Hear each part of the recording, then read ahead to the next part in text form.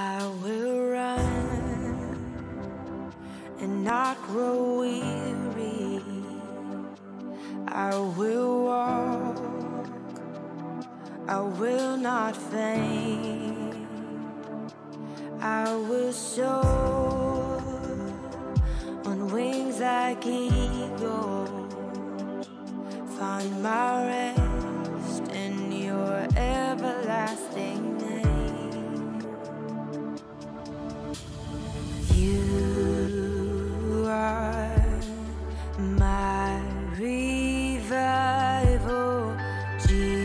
On you I wait.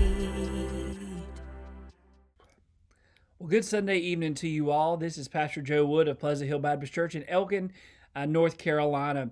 Um, I cannot believe we're in the last day of January 2021.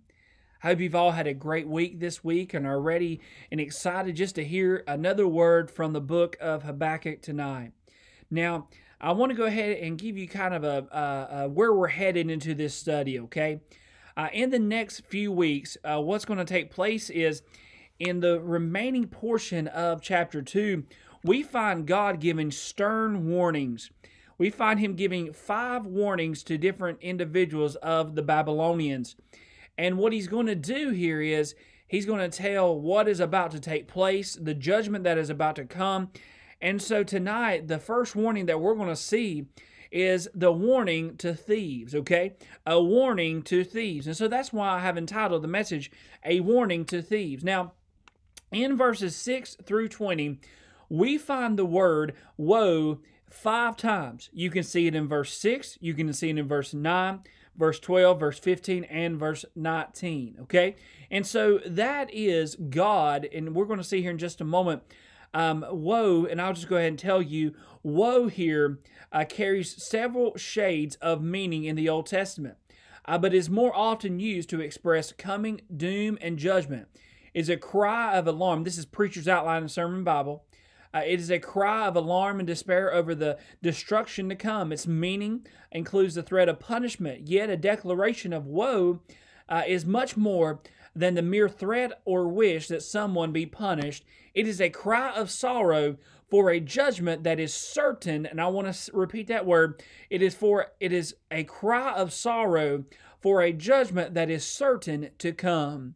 So let's go to verse 6 in Habakkuk chapter 2, verse 6. And this is God's first warning as he's telling Habakkuk what is about to take place. Okay? So go with me to verse 6 in chapter 2. It says, Shall not all these take up a parable against him, and a taunting proverb against him, and say, Woe to him that increaseth that which is not his? Now how long? And to him that ladeth himself with thick clay, shall they not rise up suddenly that shall bite thee, and awake that shall vex thee, and thou shalt be their uh, be for booties unto them?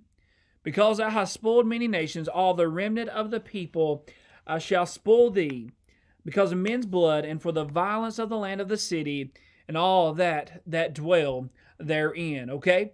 Let's go to the Lord in prayer before we go any further. Father, thank you for the day. God, thank you for the blessings, Lord, that you have given us, Lord.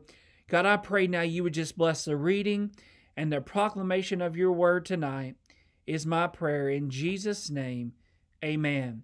Okay, and so as we get back into the scripture here in verses 6 through 8, we see God is giving a stern warning to Habakkuk. He's given a stern statement here in verses 6 through 8.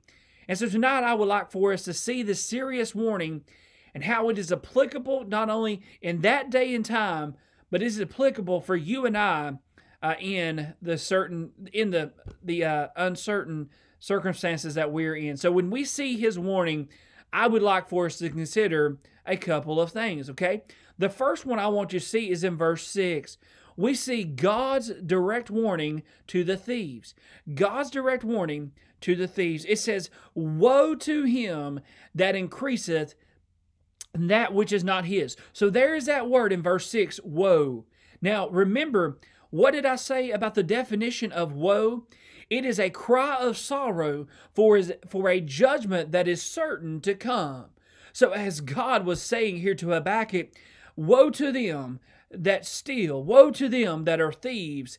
Judgment is about to take place for them. Oh my goodness. Could you understand the importance and the, uh, the, the, the declaration that God was declaring here? Listen, because they have stolen, here is what is about to take place. So, as we see God's direct warning here, we see that he was warning the thieves, okay? Now, as we think about a thief, what do we first think of? Obviously, we think about one that steals from another. There are people that rob others in their homes. There are people that rob others in their cars. There are people that rob others even just standing, you know, uh, standing uh, beside one another. You know, we have RFID uh, wallets now because of thieves. That's exactly why. And you and I know um, my dear brothers and sisters, that stealing has become more rapid in this day and time. There are more thieves in this day and time. And why is that? It is a sin problem. It is none other than a sin problem. There are people that steal from grocery stores. There are people that steal from Walmart. There are people that steal from convenience stores. But I want us to think about this. As you and I are Christians, I believe if someone makes a mistake, and, you know, I believe as a Christian, I hope and pray that you don't steal from anyone on purpose. But I believe if even if you make a mistake and you don't make it right, that is still being that is still considered a thief. I would like to give you an example here. Um, many of you, if you live in the Elkin, um, uh, you know, if you live in the Elkin area, uh, and um, and you know, you either go to Walmart or you go to Food Lion for your groceries and you know your toiletries and all those different things. Well, I personally like Walmart pickup. I love doing the mobile order. It's very easy, it's very uh, fast, and uh, very user friendly. And, and Annika and I, we often use it uh, weekly. Um, but there are times that I we forget to do it, or I have to go in there uh, and um, and I have to you know pay for my. I had to go get stuff. Well, uh, it's been a few months back. I don't remember, um, but it has been in the COVID. Um, it's been during the COVID time. Um, I was um, I went into Walmart. I had to purchase some items, um, and and as I, as I went to check out, I, I do the self checkout, and the reason why is because it's faster. I want to get in and I want to get out. Um, you know, I know some people like to stay in Walmart for hours at a time. I like to stay in there seconds at a time, and I like to get out. And so as I was checking out, I was, you know, putting all my stuff, you know, I was uh, scanning all my items and all that. And uh, I, you know, I left, and uh, the the greeter said, "Hope you have a great day," and all that. And so I left.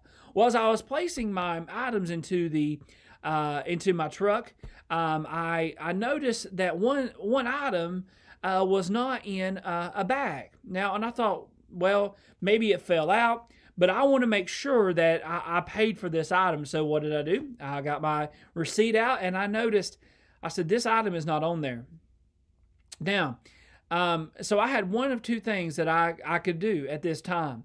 Either I could just go on my way and say, well, you know, Walmart makes billions of dollars each day and they're going to be okay. They're this item. It wasn't a big item. Um, it, it, I don't even think it was two or three dollars, but you know, um, or I said, or I could go make, um, I could go make things right. Well, so what did I do? Uh, you know, the Holy Spirit came over me and said, Joe, you know what you need to do. And I knew what I needed to do. And so what did I do? I went back in and I went up to the greeter and I said, ma'am, I said, I would like to, uh, I'd like to talk with you just for a second. I said, ma'am, I, um, um, I said, I I did not mean to do this on purpose. I just checked out. I said, you can see here's my receipt. I said, and uh, I, I promise, ma'am, I did not mean to do this at all. I, I just literally it slipped under one of my bags, and I'm here to to pay for this item and to make things right. And she said, honey, it's okay. She said, you know, it, it was just a mistake. She said, but yeah, go ahead, go to self checkout, check out your item, and you can be on your way. And I said, thank you, ma'am. And she said, Sir? I said, Yes. She said, You know, a lot of people wouldn't do that. A lot of people just went on their way. I said, Well, ma'am, I want you to understand. I said, um, I am a pastor, I said, of a local church. And I said, and I'm a Christian, number one. I said, and uh, I have to give an account of everything uh, that I that I do in my life. I said, I have a responsibility before a holy God to live my life in such a way that is pleasing unto Him. And I said, and if I'd went on my way, I would have sinned and faced the consequences of my sin. And, and I say all this to tell, I, I say this to tell you this. I'm not boasting about myself. I made a mistake. I made a literal mistake, but I tried my best to make it right. And I do believe that I did make it right by going back in and and you know and doing all those things. And I believe if if I wouldn't have, that would have been stealing. I do believe that. Even though I didn't mean to, but I knew I could make it right. And so what did I do? I did make it right. And I believe God blessed that. And and so when I say that, we, we think about making mistakes and not making it right. We just say, well, I made a mistake. No, and I believe in the eyes of God, that's still stealing. Oh, but not only do we think about uh, the ones that steal from others, but I want you to see also, we think about uh, extortioners. For example, what is that? As one uh, wrote, extortioner is the crime of obtaining money or something else of value by abusing one's office of authority. And so, what is that? It is the ones that take advantage of people and run up prices. Obviously, there's been many, uh, much of this over uh, the last few months during COVID. How many of us know businesses that have raised prices over certain things like toilet paper, uh, Lysol of any kind, uh, even meat prices have went up. Now, I don't want you to think that I am being critical of any local business around here in Elkin. I am not. See, what happens is um, they have to, obviously, they have to price things uh, given how much they have in them. You know, if someone charges you $5, you can't charge somebody else $2. That'd be losing three dollars. Okay, can you keep can you keep a business running doing that? Absolutely not.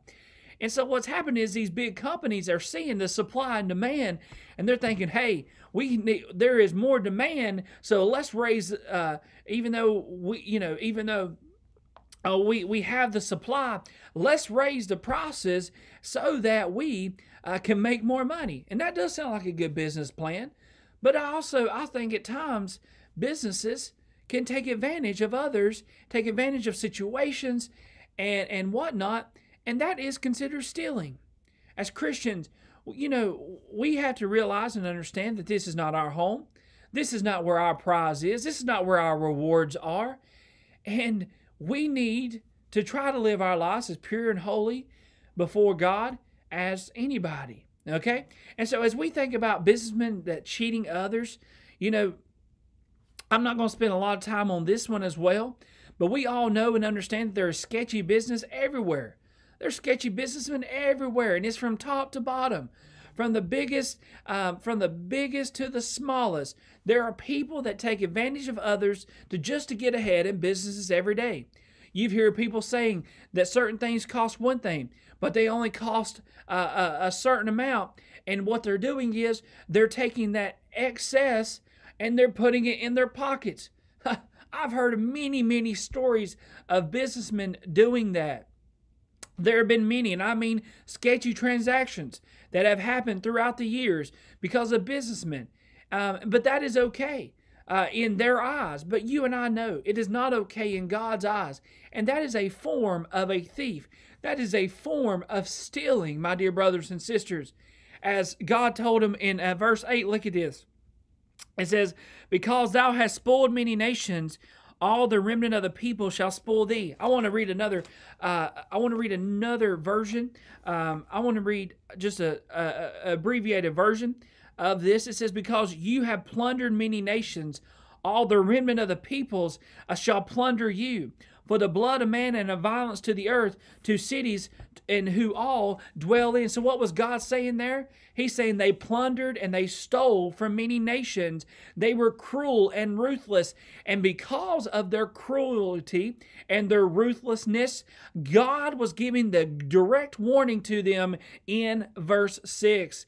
And so, not only do we see God's direct warning to the thieves, but I want you to see God's direct judgment against the thieves in verse 7.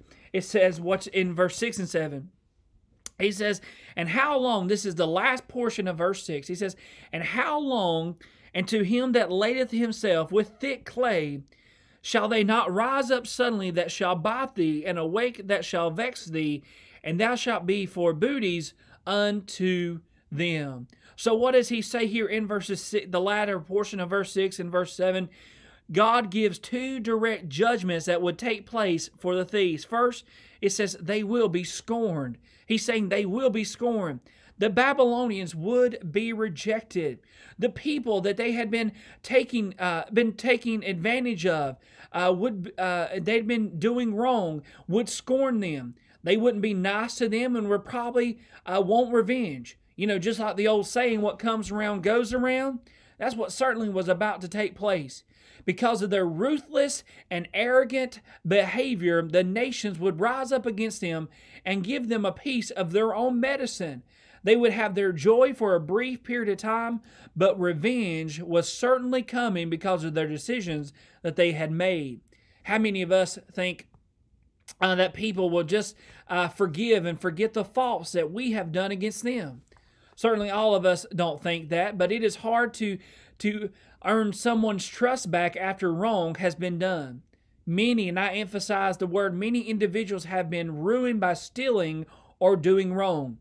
You know, my dear brothers and sisters, the reputation that you build not only in your home, workplace, and community is vitally important. You say, Joe, well, the only reputation that really matters is what Jesus Christ thinks of me. And certainly I agree with that. However, your reputation is critical for your influence of others. So if you are robbing them in your business or in some other way, how do you think that is showing the love of Christ? And what type of impact are you going to have? Certainly, in my opinion, it's not going to be good. So that's why it is so critical to conduct ourselves in a godly manner no matter where we are at. But not only do we see that they will be scorned, but I want you to see they also will be opposed. What does it say here? It says, Shall they not rise up suddenly that shall bite thee, and awake that shall vex thee? Their victims, what were they going to do? They were going to rise up against them. The nations that they had held uh, captive and took advantage of would rise up against them and take back what was rightfully theirs. Karma, or whatever you want to call it, always comes back and gets you. Just like the Babylonians, individuals have always had their fun for a period of time, but when it comes down to it, justice is always served.